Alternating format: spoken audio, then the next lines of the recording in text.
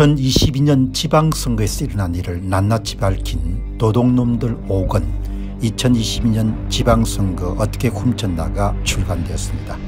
이미 발간된 도둑놈들 1권 선거 어떻게 훔쳤나 2권 2022년 대선 어떻게 훔쳤나 3권 2022년 대선 무슨 짓을 했나 4권 4.15 총선 어떻게 훔쳤나에 이어서 다섯 번째 발간된 책입니다. 여러분께서 구매해 주시고 주변에 널리 알려주셔서 선거 공정성 회복을 위해 전 국민 필독서가 될 수 있도록 힘을 대주시기 바랍니다. 감사합니다. 함께 잘 사는 사회 격차 없는 사회 이런 거지 않습니까 해방이 되고 80년 돼가지만 뭐 지금도 뭐죠 격차 없는 사회를 꿈꾸는 사람들이 대한민국의 중심 세력이 된 거지 않습니까 어느 사이에 변방에서 중심으로 이렇게 진입을 한 거죠. 이 사람들이 이제 권력을 지면은 한국에서 어떤 사회적 실험이 이루어지게 될 것인가 이런 부분들을 유심히 보는 분들은 소수일 거고 대다수는 그렇게 생각 안 할 겁니다. 사람은 대부분 발등에 불이 떨어져야 이렇게 그때 아뜨거 하니까 특히 이렇게 소설가들이 여러분들 이렇게 좀 좌편향적인 그런 시각을 많이 갖거든요. 그래서 소설가나 시인들 가운데서도 예, 우파적 세계관이 확고한 사람은 상당히 소중한 자산이라고 그렇게 볼 수가 있는 거죠.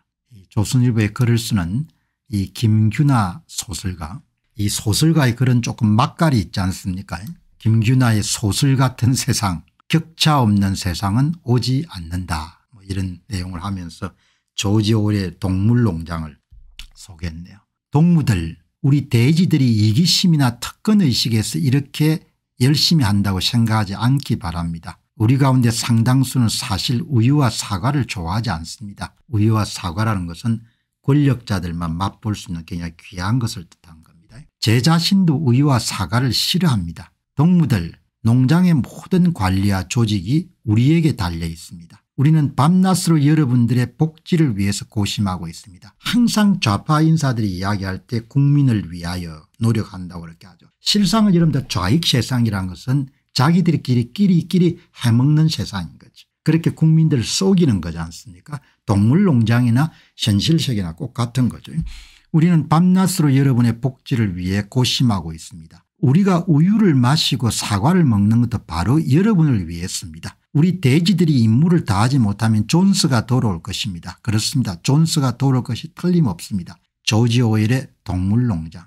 우리가 항상 세상을 볼 때 망각하지 않는 것은 권력자든 평시민든 간에 인간 본성에서 변경할 수 없는 고정된 것은 철두철미하게 자기 이익을 위해서 움직이는 것이 인간의 대부분의 본성을 차지하고 있다는 거죠. 그러니까 권력을 쟁취해 가지고 뭔가를 뭔가 사회를 평등하게 하겠다. 그렇게 이름들 노력하는 사람들은 10중 8구 뭡니까 99.9%가 뭡니까 자신들의 이익을 극대화하기 위해서 대중이나 민중을 이용한다 이렇게 생각하면 되는데 그렇게 생각 안 하는 사람들이 많은 거죠. 그래서 항상 당하는 겁니다. 외모와 재능과 환경의 차이는 개인의 힘이자 사회를 움직이는 중요한 에너지입니다. 본능적으로 사람이 평등할 수가 없지 않습니까 오늘 이 방송 보시는 분들 가운데서 학창 시절에 공부한 감 생각해 보시기 바랍니다. 그냥 꼭 같이 공부하더라도 공부 잘하는 사람이 있고 공부 못하는 사람이 있고 수학을 잘하는 사람이 있고 영어를 잘하는 사람이 있는 겁니다. 뭐 그렇게 근엄한 철학을 동원할 필요 없이 사람은 완전히 다른 겁니다. 꼭 같은 기회를 주더라도 본인이 갖고 있는 돈을 100배로 불리는 사람도 있고 뭡니까 돈, 본인이 갖고 있는 돈을 다 잃어버리는 사람들도 있는 거죠. 차이를 줄이려는 노력은 필요하지만 격차 없는 세상은 오지 않는다. 너무나 당연한 이야기지만 소설가가 이렇게 내놓고 이야기하기는 참 쉽지 않다는 거죠. 예, 확고한 신념이 있기 때문에 이런 이야기를 하는 겁니다. 그런데도 야당은 일하지 않아도 먹고 사는데 지장이 없는 기본 사회를 만들겠다고 한다. 재선거 지역 주민에서 분기별로 100만 원씩 지급하겠다는 공약도 했다. 여당도 격차 해소 특별위원회를 신설하고 다양한 특별법을 추진하고 있는 것이다. 한국인들은 본래 상태로 돌아가는 겁니다. 마치 용수철을 오래 눌러놨지만 원래의 조선 사람으로 돌아가는 거죠. 그래서 좌파가 집권하게 되면 은 다음번 권력을 잡은 사람들은 온갖 종류의 검증되지 않는 예, 쌈박한 사회주의 아이디어를 전부 다 실험하겠죠. 이재명 씨가 권력을 쥐게 되면 우리 대한민국은 기본 사회를 지향합니다. 기본 사회는 기본 주거 기본 소득 기본 금융 기본 의료 기본 교육 기본 육아 기본 타가 이렇게 나갈 겁니다. 그래 완전히 말아먹겠죠. 다 같이 잘 사는 사회 그렇게 이야기하지 않습니까 예, 여기 나오네요. 세금으로 인심을 쓸 뿐 자기 주머니를 틀어서 국민과 나누는 것도 아니며 똑같이 잘 살자는 외침은 군에게서 배고픈 동료들을 지켜낼 힘이 필요하다며 자기들만 우유와 사과를 먹겠다는 돼지들의 뻔뻔한 변명과 무엇이 다를까 그렇지만 많은 사람들이 쏟는 겁니다. 그 속임수에 넘어간 대가를 당대에 치르게 되는 것이고 후대까지 치르게 되는 거죠. 지금 북조선 인민들이 다 그런 거지 않습니까 뭐 지금 수십 년째 저렇게 고생을 하고 있지 않습니까 인간이 그냥 차이가 있다는 것을 그 좌파들은 받아들이고 싶어 하지 않는 거죠. 그래서 감언 이설을 가지고 사람들 속에서 다 같이 잘 살 수 있다. 다 같이 어떻게 잘 살 겁니까 다 같이 잘 살 수 없는 거죠. 꼭 같이 공부하더라도 뭡니까 1시간에 100점 맞는 사람도 있고 뭐죠. 10시간 하더라도 50점 밖에 못 맞는 사람이 있는데 그 어떻게 이러면 다 잘 살겠습니까 그게 바로 우익과 좌익의 진짜 우익과 좌익의 차이인 거죠.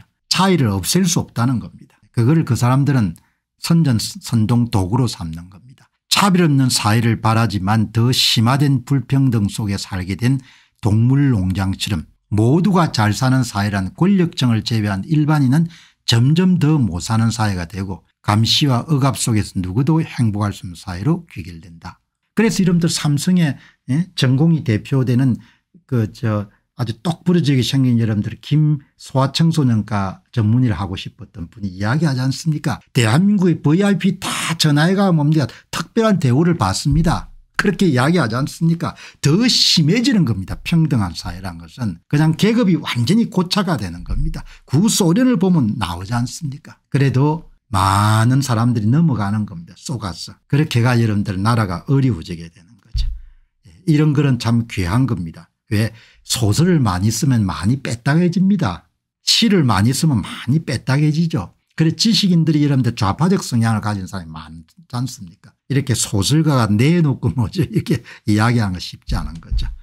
본성을 있는 그대로 받아들여야 그래야 자신을 어렵지 않게 하고 세상을 어렵게 하지 않게 않는 거죠. 이 본능이 존재하는 본능을 외면할 때 그때가 좌익이 되는 거지 않습니까 제가 AI 씨한테 물어봤습니다. 좌우익이 어떻게 다릅니까 예, 이렇게 나오지 않습니까 좌파와 우파는 인간 능력에 대한 관점이 근본적으로 차이가 있습니다. 이렇게 똘똘하게 이야기하지 않습니까 예.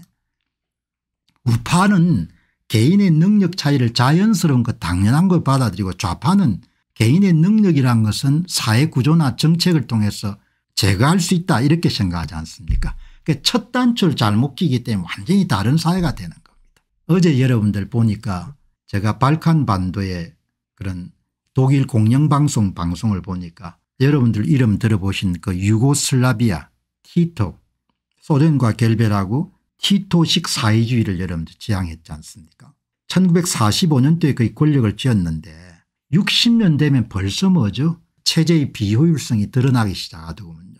70대 중반은 많은 젊은이들이 외국으로 나가가지고 외국에 송금하는 돈이 체제를 유지하는데 그러니까 사회주의라는 게 45년 55년 60년이니까 15년 되니까 거의 비효율이 모든 공장은 근로자 소유고 근로자들의 공동으로 결정한다. 공동으로 결정하는 게 임금을 막 같이 올리는 겁니다. 대득이 되겠습니까 안 되는 거죠.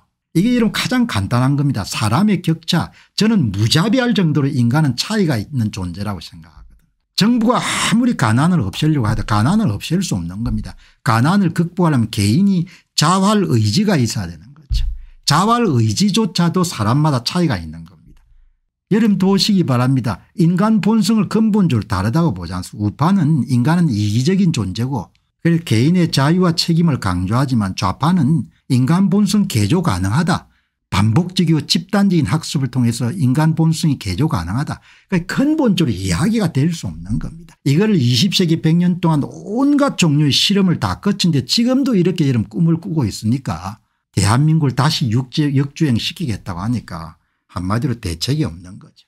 그러니까 무식하면 뭐 대책이 없는 겁니다. 어떻게 하겠습니까 인간 본성이 환경에 따라 변할 수 있다. 인간 본성이 어떻게 이런 환경에 따라 변할 수 있겠습니까 교육을 시켜서 변경할 수도 있고 사회적 조건을 개선해서 변경시키기도 천만입니다. 미국 같은 그런 풍요한 나라에서도 뭡니까 홈리스들이 어마어마하게 문제가 많고 마약 때문에 문제가 엄청나게 많지 않습니까 우파는 그래서 개인이 책임을 지는 쪽으로 많이 가야 된다고 보는 거죠. 좌파들은 국가 권력을 계속 비대해 가지고 돈을 나눠주면 만사 오케이고 뭡니까 신세계가 열린다 그렇게 천만에 뭡니까 그걸 100년 동안 실험해서 다 봤는데 지금 와가 기본사회를 하겠다 기본소득을 주겠다 정신 나가지 않고서 할 수 없는 거지 않습니까 그러니까 제발 공부들 좀 해라 공부.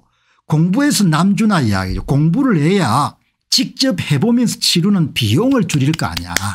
공부들을 왜 안 하냐 공부들을 의료 문제 뭐 의료 문제를 공부를 하면 이러면 다 나올 거 아닙니까? 예. 공부를 안 하는 겁니다. 아 좋은 것 같다. 감각. 가슴이 울렁울렁하다. 기분이 좋다. 이렇게 하니까 뭐다 홀라당 여러분들 다 쏘아가지고 자식들하고 여러분들 생고생을 할 거 아닙니까? 안녕하십니까. 공병호입니다. 그동안 공병호TV는 선거 공정성 회복과 자유민주주의 체제의 보존과 발전을 위해 노력해 왔습니다. 이런 노력들이 지속될 수 있도록 공병호TV의 전기 후원 프로그램이자 멤버십 프로그램을 소개해 드립니다. 뜻 있는 분들의 관심과 동참을 부탁드립니다. 선거 공정성 회복을 위한 노력을 지지하시고 훌륭한 나라 만들기에 동참하시는 시청자분들이시라면 구독 버튼 바로 옆에 있는 가입 버튼을 통해서 정기 후원 프로그램에 가입할 수 있습니다. 가입 버튼을 누르시면 공병호TV의 후원자가 되시게 됩니다. 여러분의 후원이 선거 공정성 회복을 위한 노력에 힘을 더할 수 있을 뿐만 아니라 자유민주주의 체제의 수호를 그리고 발전을 통해 여러분과 후손들의 삶에 빛과 소금이 될 것입니다. 특히 그동안 공병호TV는 선거 공정성 회복을 위한 노력 과정에서 채널 성장에 제약이 가해지는 불이익을 감수해왔고 지금도 그런 불이익이 계속되고 있습니다. 그럼에도 불구하고 너무나 중대한 문제이기 때문에 공병호 TV의 노력은 계속될 것입니다. 여러분의 깊은 관심을 부탁드립니다. 감사합니다.